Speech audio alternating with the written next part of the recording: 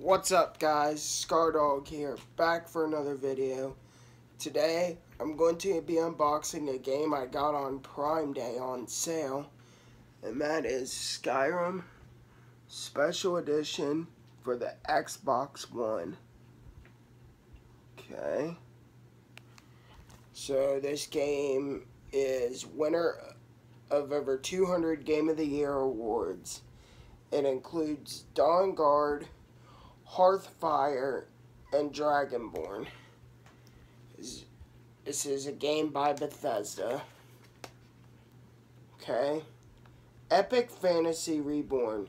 Dragons, long lost to the passages of Elder Scrolls, have returned to Tamriel, and the future of the Empire hangs in the balance.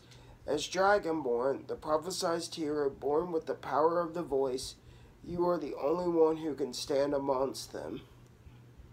The special edition includes the critically acclaimed game with all new features like remastered art and effects, Volmeric, God Rays, dynamic depth of field, and more.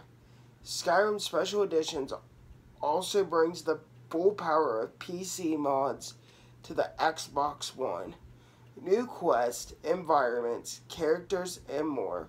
With mods, there are no limits to what you can experience. Um, it is one player, and 17 gigabytes of storage are required. Is required, are required, I don't know and this game is rated M, and the reason for that is blood and gore, intense violence, sexual themes, and use of alcohol. Um, yeah. So, there are some photos.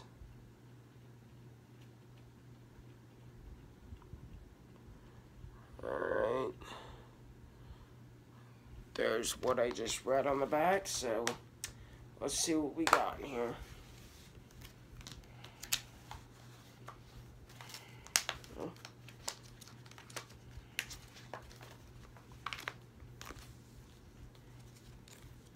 Here's some sort of map. I'm not going to open it up because then it'll take forever to fold back up when I do my room tour, I'll have it hanging on the wall so you guys can see it.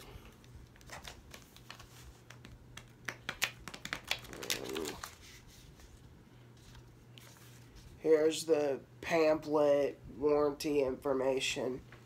You guys don't care about that. And here's the disc. Oh, it looks like we got some disc art.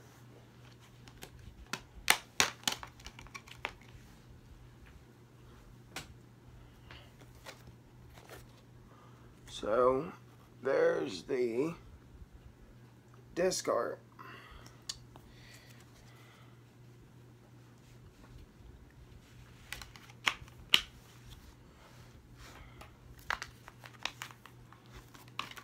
Alright guys, there you have it. There's my unboxing of Skyrim Special Edition for the Xbox One.